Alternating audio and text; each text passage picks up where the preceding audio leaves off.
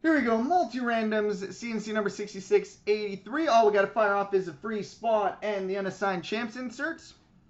So we'll hit this twice, and whoever lands on top gets a free spot, and number two gets the champ stuff. One, two. And the free spot goes to Jordan L. Cone, and the champs inserts Rain Spider 204.